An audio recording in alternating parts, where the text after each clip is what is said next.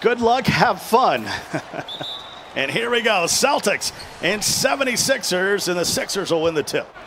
That it's going to be tough. You're going to get built uh, beat on a lot of the speed, but this is where the help defense has to be huge for you to try to make an impact. You can see everyone pinching down in the lane when Fab starts to size up.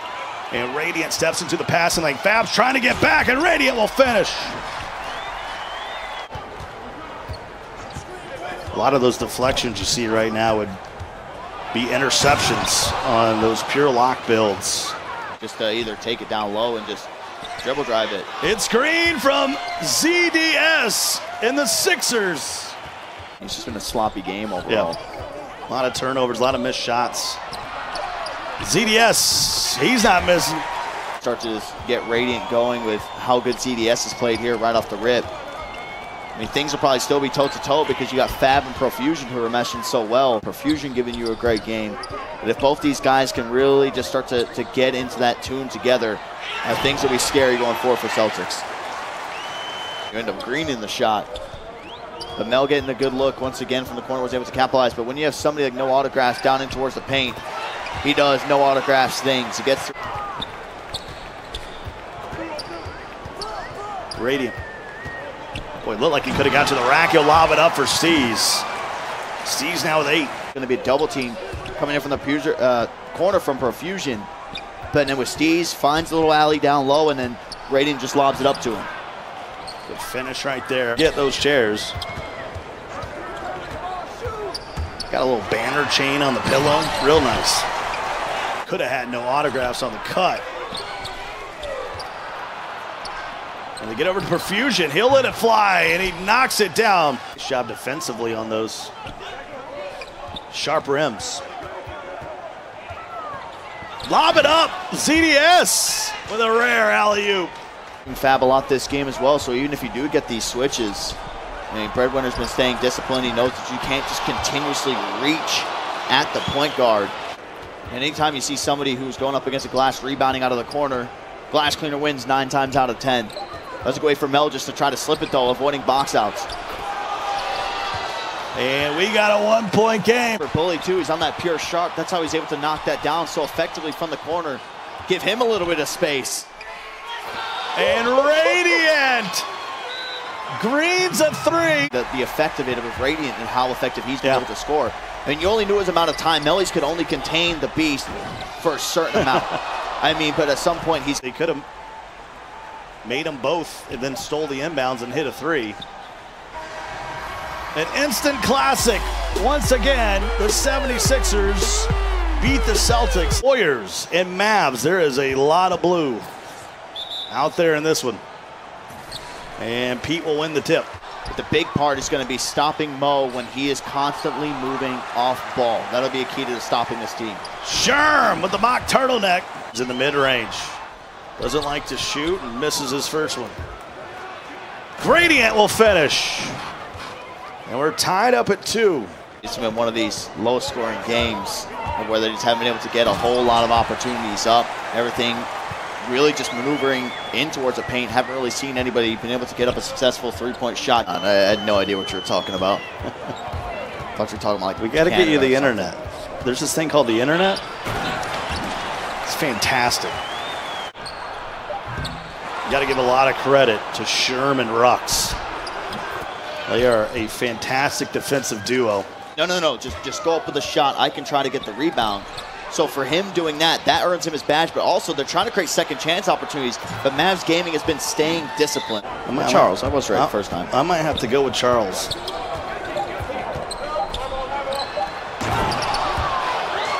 Twenty-three, twenty-three. And no. Final opportunity, maybe Mo! 32-25. It's a point guard league as Dimes slams it home. He's got eight points, seven assists. Up ahead to Jin. Charles Bostwick the third.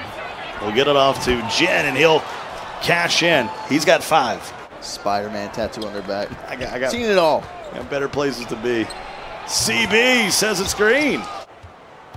Let's see what the Response they have, but Gradient knocks it away. Can he finish? He will.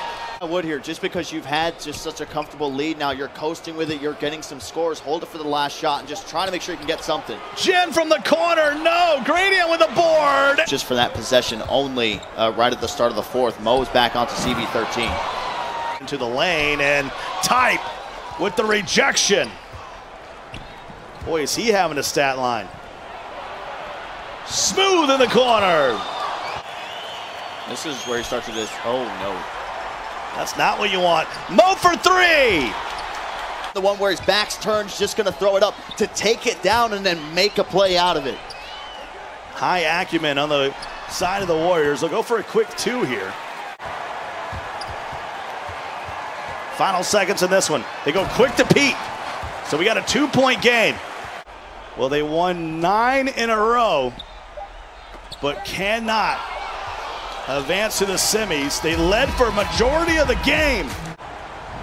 T-Wolves, Jazz, not the Bucks. T-Wolves, Jazz, here we go. And that was the most exciting tip we've ever had. And that won't go. Rebound by Feast. Very stingy on the first couple possessions, but you forgot about Nacho.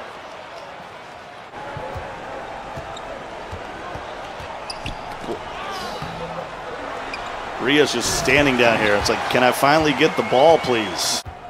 As Ria came wide open on the roll. Bear. He knows how to find him. Just got a yell squirrel.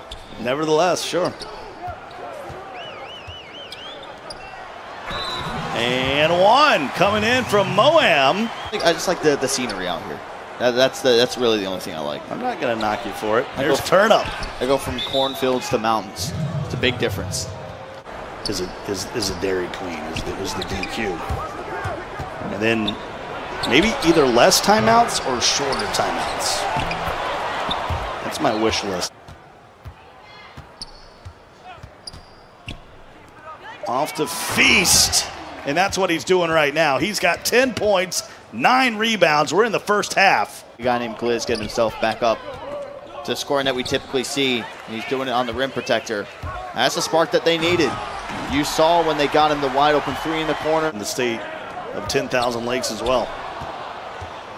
JoJo with a jam. I was out there for the Super Bowl. Into a couple games and I was playing in it where it wasn't used. And if you didn't use it, you were getting horsed and you more than likely were losing games. That gives you that first initial push going in towards the paint to where you can pass fake and then try to make a play. There's turn up. Sweep it over to Nacho. To an eight point game. Holding Gliz to just four points in that quarter as well. I think that was a, a big part of the success. Being able to slow down really the trigger man of the team. Gets the bear. Over to turn up at the elbow. And compete. There he goes. He brings him back within one. Feast does feast things. The Yugoslavian Reaper for a reason. And the Jazz have the lead with under two minutes to go. Unbelievable how this game has gone. What a move. All of a sudden, we're under a minute to go. Both teams with two timeouts. Ria two-hand jam. Back within one. How much time here? That is a high pick and roll. JoJo. Shot clock running down, and Deeds took it away. Gliz out on the break for the lead. Adapted straight away, and they're able to get the coverage. And forget about it. The Jazz have come in and stolen this game. Games all last year. And Colt, the only retained player on this team, had to draft five new players. And okay, BP. This could be the game he has a field day. Plondo trying to help out. And this might be the game that BP ends up finding BP. Seam will lob it up to Zaki. Each All the way up to the players' locker rooms. he was dogging the whole way.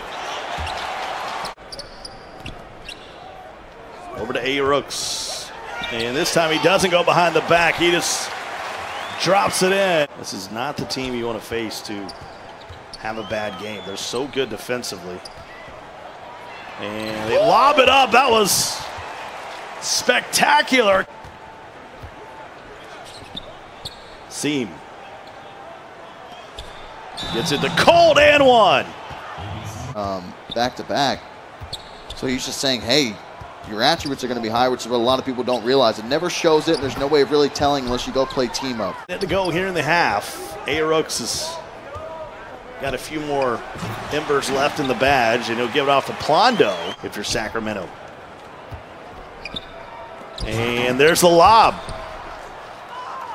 Right now, we're three and two right now. We feel like we should be way better than this, so we just want to make a push. I know Black Frank White had had uh, the heat going all the way. It didn't quite happen, guys. No, it didn't, Jeff. Zaki's in the corner. I mean, Big Meek's like, who do I guard now? Well, you try to guard that. From the logo, basically. Seam. He's trying to keep his team in it. He's got 10. Play.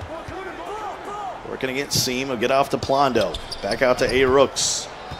See ya. And he'll cash in. I think I'm, uh, I'll find some chicken fingers somewhere. BP, there you go. With A-Rooks, right, we know he loves behind the back move. And that's something that you can't really be doing that while protecting the ball. BP. BP has come alive here in Vegas. We got a one-point game. But you always just start to, the players who maybe were slacking towards the beginning, they start to pick things up towards the ending part of the game. It's been so hard for you to even get any good looks up this game. There's been a couple bailout passes to the corner. That was probably the best look that he's had all game. BP. At 7 p.m. Eastern Time. 4 p.m. here in the desert. But the Bucks victorious. The board, especially Big Meek. He's been big in a few games. Had 27 against the Raptors. They're going to need that kind of performance. Some of the other characters. So in that way, he's able to get open. No screens needed for A-Rooks moving off ball. Breadwinner, there's the alley-oop. Behind the back that he goes to so often, but Breadwinner makes him pick up a dribble. Plondo two-hand jam of the semifinals here from Las Vegas, Nevada. Got a blast here at the turn, powered by AT&T. There is that takeover badge. We don't see that one often, but he's still able to make the shot on the behind the back. Walk it back, give it down to Plondo who's got four points already. Working on breadwinner. Says, get off of me. They're just going to be able to bully you down low. Mean, you can just get the little cold shoulder. You can try to go for the drop step and mash your way to some points. There's Radiant. He's got four now, but Nudini can't cash in. And a big time jam on the other end by Arox. Trying to get a screen from Plondo.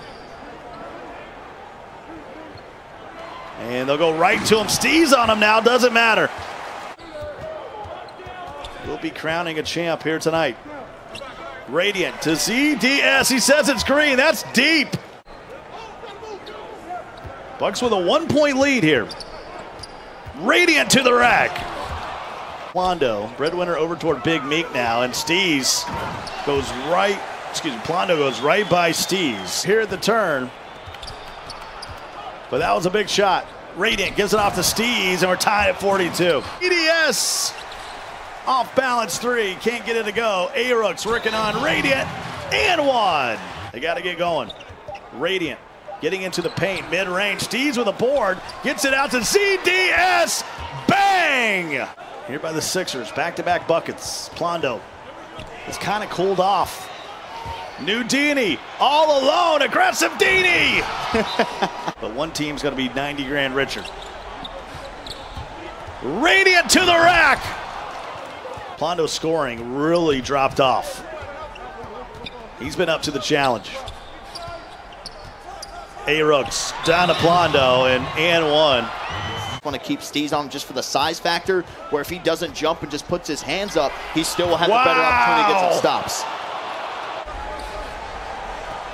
There's A-Rooks. Has he got a big shot in him? Mid-range. And you remember that 76ers team has just been going a lot of pick and roll. Usually towards the fourth quarter, they pull something Radiant! out of tricks. Team. And Chatty will get this in bounds, and there's two minutes we'll never get back. 62 54, semifinal number two, Warriors Jazz. And here's the tip. And the Jazz will take it. Put up 18. He's a big reason they're here. And that rattles around and down. Seventh seed. Ria on a post score. I like it, old school. Your body gets, it looks like it's stiff, and you just kind of throw it up. It's a very, very hard shot to time to perfection. Out on the break. Moab. All right.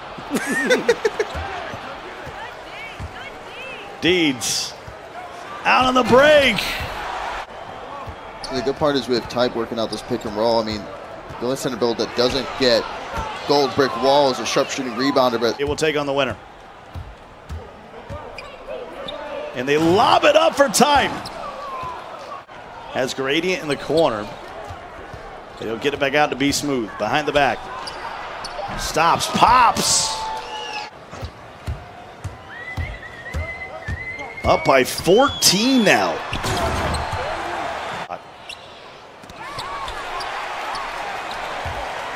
Compete on the break.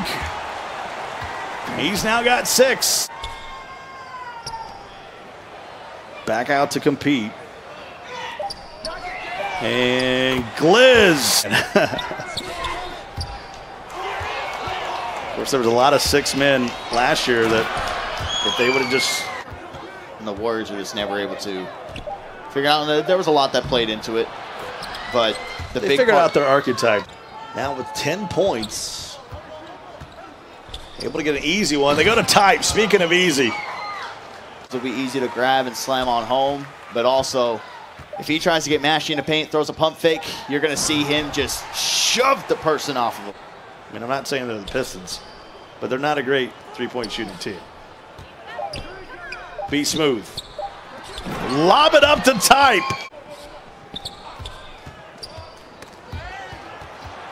Compete will pick it up. He's out on the break. Slam a jamma. Confidence now, which is scary.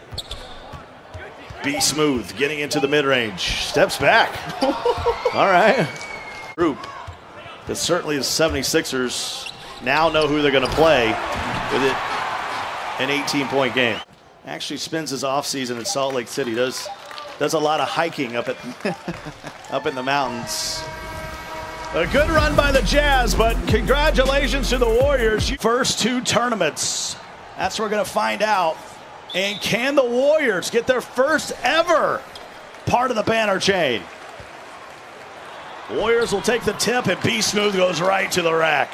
Press, the Warriors gaming squad, they do such a good job of just being able to slow things down the half court setting. They'll put you under pressure, but they'll always be baiting the passing lanes to signifying that they have taken home the tip-off banner. Can they take home the turn? Radiant from deep, he says it's green. To say they missed the playoffs would be an understatement. Smooth. Now with seven. And they'll lob it up to B Smooth. I don't know who's drawing up these plays, but everybody two on one, and they do get an easy one finally. It has been a whatever we do, do not foul. And Radiant will get to the rack. He's got nine. Be smooth. Trying to get to the elbow there. CB13. Wow. The rookie with 12 points tumbles over the baseline. Be smooth. Back the other way. He'll lob it up. And Gradient will throw it down. Jeff Terrell said, let's focus on getting a bucket, not timeouts. On the other side, the Warriors, obviously much more lighthearted, uh, especially Type and Jin. They were talking about 12 minutes. 12 minutes, that's all we need. 37 24. Radiant gets it to Steez, and there's a two hand jam. Starting to get some ooze. Here to the title. Trying to win the mid-season tournament. We call it the Turn, powered by AT&T. That's one of your biggest enemies right now, and be smooth. Uh, and then they've had a time where they lost to the Kings, they lost to B5. Obviously, those are two good teams, but oh my. If you need another reason, it's his birthday. Steez. I could come up with about 10 reasons before that. Fifth. Equation with Wizards District Gaming last year, their first round exit, and for how majority for him in terms of how much he was involved in the offense really went down after the patch. So for him to come out and be able to. And he suffered through a long season one with his Warriors team. There was a lot of late nights at the hotel. Turn champions, and they do it in fantastic fashion. Champions powered by AT&T Warriors Gaming Squad!